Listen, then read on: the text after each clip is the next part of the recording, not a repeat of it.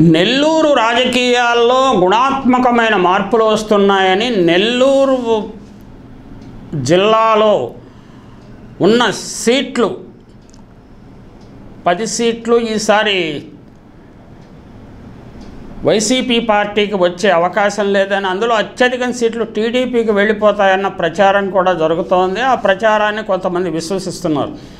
కానీ జగన్మోహన్ రెడ్డి రాజకీయాలు అర్థం కాని వారే ఇలాంటి మాట్లా మాట్లాడుతూ ఉండవచ్చు. నిజానికి నెల్లూరులో తనకున్న ప్రాబల్యాన్ని తగ్గించుకునే ఏ పని కూడా జగన్మోహన్ రెడ్డి చేయడు. ఆయన తన వ్యూహంతో ముందుకు వెళుతున్నాడు. తాజాగా వస్తున్న వార్తల్లో బయట వస్తున్న పుకార్లు అనండి లేకపోతే ఎర్లీ ఇన్ఫర్మేషన్ అనండి ఏది ఏమైనా ఎంపీ అభ్యర్థిగా నెల్లూరు రంగంలోకి అరబిందోకి చెందిన చంద్ర శరత్చంద్రారెడ్డిని దింపుతారన్న ప్రచారం జరుగు జరుగుతోంది.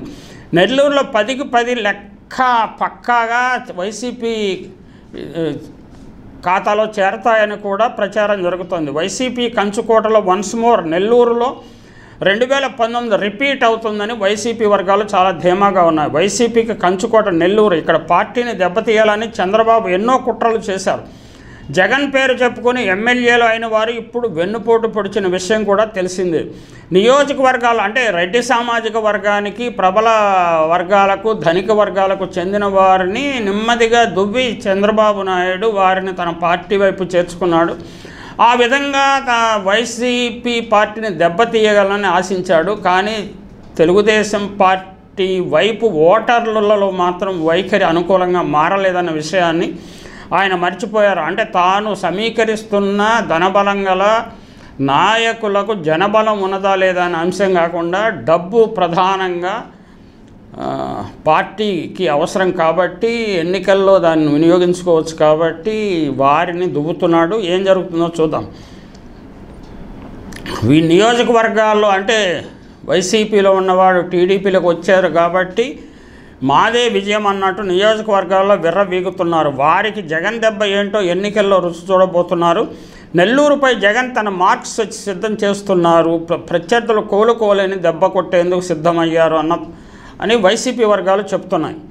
అందులో భాగంగా ఎంపీగా ప్రముఖ పారిశ్రామికవేత్త అరబిందో శరత్ చంద్రారెడ్డి వైపు పార్టీ ఆలోచన చేస్తున్నట్లు విశ్వసనీయ సమాచారం. నెల్లూరు జిల్లాలో అన్ని సీట్లు గెలవాలంటే శరత్ చంద్రారెడ్డి అభ్యర్థిత్వం తమకు కలిసి వస్తుందని ఎమ్మెల్యే అభ్యర్థులు చెబుతున్నారు. వైసీపీ నుంచి పోటీ చేసేందుకు పలువురు ప్రముఖులు ముందుకు వస్తున్నారు. అయితే పార్టీలో పనిచేసిన వారికే తొలి ప్రాధాన్యత ఇవ్వాలన్నది జగన్ లెక్క. పార్టీ ఏర్పాటు నుంచి ఇదే సిద్ధాంతం జగన్ ఆచరిస్తున్నారు. అది బలహీనత కాదు పార్టీ జెండా మోసిన వారికి ఇచ్చే గౌరవం. అదే సమయంలో అవసరమైతే ఊహించని అభ్యర్థులను తెర మీదకు తీసుకొచ్చే శక్తి జగన్ సొంతం. ప్రస్తుతం కర్నూలు జిల్లాలో భూమా నాగిరెడ్డి పార్టీ మారడంతోనే ఇక వైసీపీకి ఎవరు లేరని టీడీపీ ప్రచారం చేసింది. కానీ గంగుల ప్రభాకర్ రెడ్డిని తీసుకొచ్చి ఎమ్మెల్సీని చేశారు. జగన్ను కాదని టీడీపీలో చేరిన భూమా వారసులు ఓడిపోయారు. రెండు వేల పంతొమ్మిదిలో కర్నూలు జిల్లాను వైసీపీ క్లీనింగ్ స్వీప్ చేసింది. అంటే టీడీపీ కోట్ల విజయభాస్కర్ రెడ్డి కుమారుడిని చేరదీసినా సూర్యప్రకాష్ రెడ్డిని చేరదీసినా ఏమీ ప్రయోజనం లేకుండా పోయింది. ఏ జిల్లాలోనూ వైసీ లేదా వైసీపీ అభ్యర్థుల కొరత లేదు. సామాజిక ప్రాంతీయ లెక్కలకు జగన్ ప్రాధాన్యత ఇస్తున్నారు. ఇక ఇప్పుడు why not one seventy five by one seventy five నినాదంతో జగన్ కూటమిగా వస్తున్న ప్రత్యర్థి పార్టీలను కలిపి దెబ్బ కొట్టాలని డిసైడ్ అయ్యారు. నెల్లూరులో ఎంపీగా అరబిందో శరత్చంద్రారెడ్డిని దించాలనే ఆలోచన వెనుక భారీ వ్యూహమే ఉంది. శరత్చంద్రారెడ్డి స్వస్థలం నెల్లూరు జిల్లా. ఇలాంటి ఆర్థికంగా పార్టీ మద్దతు ఉన్న అభ్యర్థి టీడీపీకి భూతద్దంలో చూసినా దొరికే పరిస్థితి లేదు. సొంత జిల్లాలో ఎప్పుడు ఎంపీతో పాటుగా పది అసెంబ్లీ స్థానాలు గెలిపించాల్సిందని అనేది నెల్లూరు జిల్లా నేతలంతా పట్టుదలతో ఉన్నారు. ఇప్పటికే అభ్యర్థుల ఖరారులో జగన్ రాజకీయం చంద్రబాబు పవన్లకు అంతు చిక్కటం లేదు. వారిని గందరగోళానికి గురి చేస్తున్నది.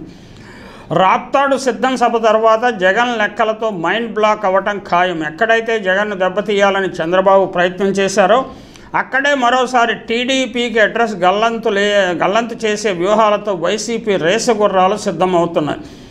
ఇక నెల్లూరు గడ్ నడిగడ్డపై సిసలైన యుద్ధానికి సిద్ధం సిద్ధం సిద్ధం అంటూ వైసీపీ కేడర్ తొడలు కొడుతోంది.